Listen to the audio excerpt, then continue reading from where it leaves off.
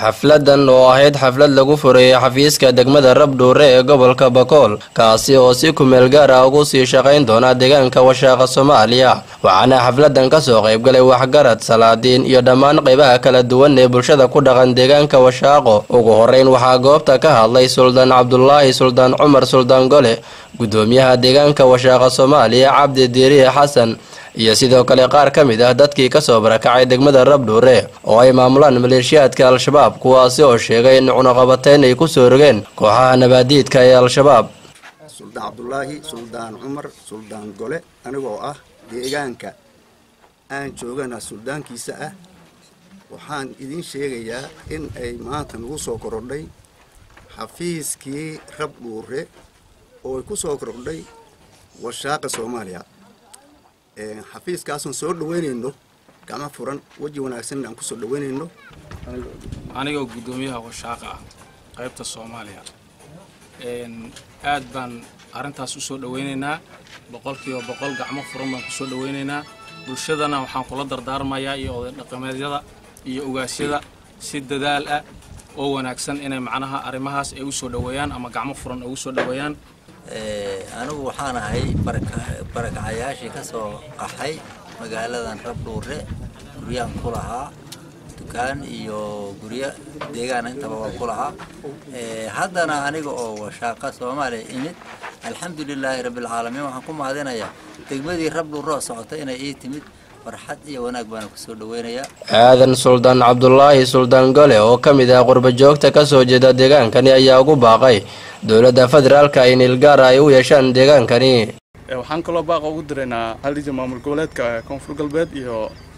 federaalkaba dhammaan inuu maanta ka furan yahay degmada rabdhuure ofiskeedii washaaqa soomaali. Dhammaan waxaan u sheegaynaa hay'adaha samafalka dhammaan in maanta furan yahay ofiskii degmada rabdhuure uu ka furan yahay washaaqa soomaali. Baaq waxaan ugu diraynaa dhammaan inay ogaadaan maanta inay furan yihiin ofisyadii rabdhuure meel walba oo uu ka furan yahay washaaqa soomaali maanta.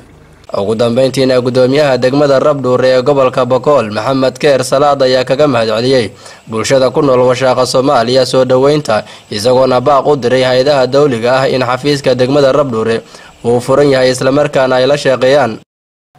intaas ku soka hadalkaan mayn badanya mahadnaq geeka maxaddi ilaahay ku soka may bang mahadnaqeeya deegaankan dadka degaaya mayl araa'iso washaaga soomaaliya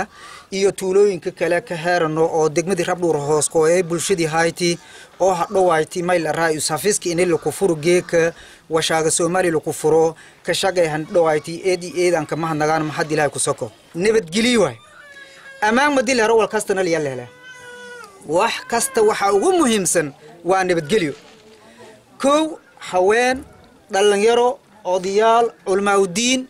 inaan nabadgelidi intii ilaahaysan siiyey allaha idiin ziyaadiye inaad nabadgelida ku dadaashaan. Waayo wax kasto nuur kastoo soo baxa dad isku daya inay khalfardhiyaan tan kale waxaa weeye waxaan u sheegayaa oo hay'adaha samafalka